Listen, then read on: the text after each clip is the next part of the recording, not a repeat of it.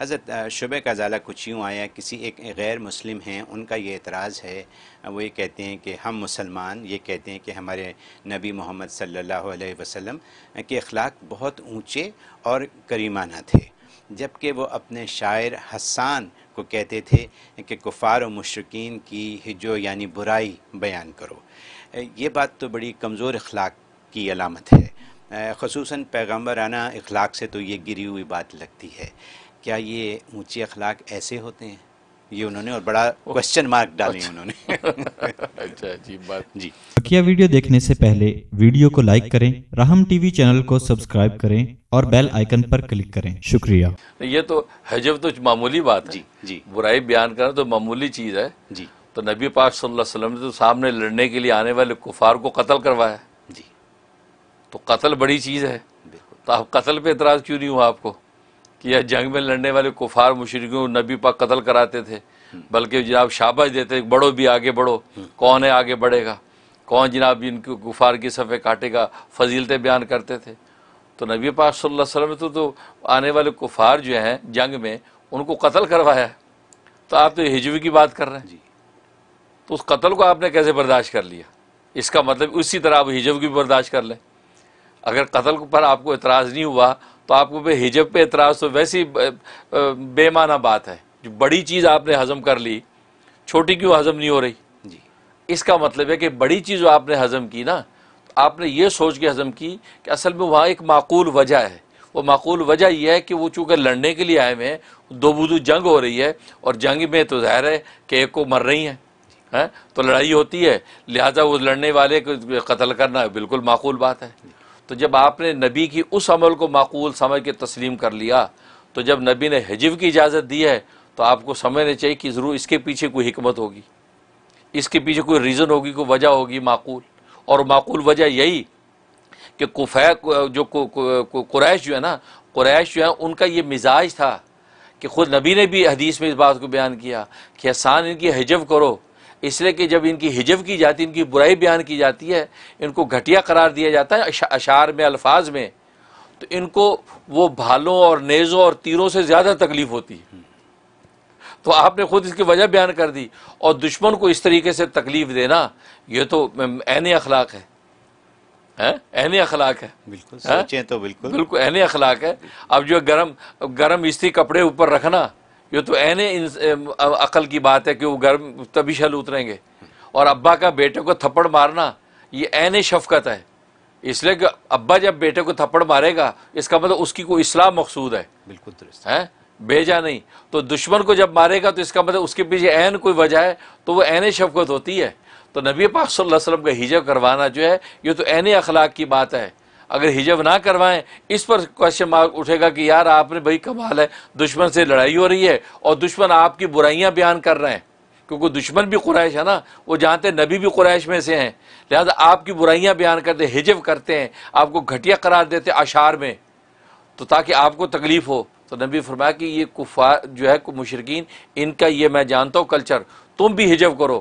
اس ہجب کا تیر ان کو ایسا لگتا ہے کہ اصل جو تیر ہے، اس کا اتنا ان کو تکلیف ہوتی۔ وہاں تو فخر سے کرتے بعض دفعہ کٹواتے ہیں۔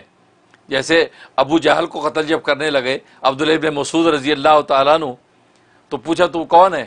کہا، میں ابن مسعود ہوں۔ تو بڑا افسوس ہوا ابو جہل کو یعنی میدان بدر میں پڑا ہے۔ افسوس ہوا او ہو اتنے چھوٹے قبیلے کا آدمی مجھے قتل کر رہا ہے۔ کاش کسی بڑے قبیلے کا کوئی بڑا سردار مجھے قتل کرتا۔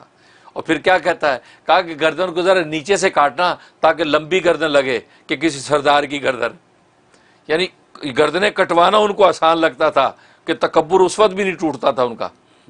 لیکن یہ ہجب جو ہے، نبی فرماتے وہ تیر سے زیادہ لگتی ہے۔ اس لیے کرو۔ تو معلوم ہے کہ اس کے پیچھے معقول وجہ ہے۔ اس لیے آپ نے یہ ہجب کروائی جس سے جناب ان کو جو تکلیف ہوتی تھی۔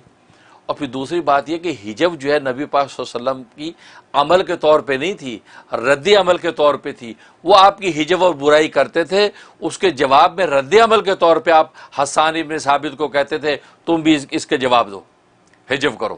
تو وہ پھر جواب میں شعر کہتے ان کی ہجب کرتے تھے، ان کا جو وہ ٹوٹتا تھا۔ اور اس کے اندر ایک اور حکمت یہ تھی کہ نبی اصل میں یہ چاہتے تھے کہ مسلمانوں کی وقار کی حفاظت ہو۔ اور اہل حق کے وقار کی حفاظت ہو، کیونکہ جب وہ الٹی سیدھی ہجب کرتے ہیں، تو کہتے ہیں نا کہ اینٹ کا پتھر ان کا جواب پتھر سے اگر دو نا، تو اینٹ پھینکنے والا سو دفعہ سوچتا ہے کہ یار اینٹ پھینکی نہیں تو پتھر ماریں گے، تو وہ پھر رک جاتا ہے۔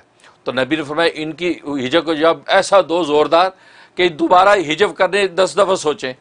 تو پھر اس سے مسلمانوں کا عزت اس میں حفاظت ہوگی، ہماری عزت اس میں محفوظ ہوگی، اہل حق کی عزت اس میں محفوظ ہوتی ہے۔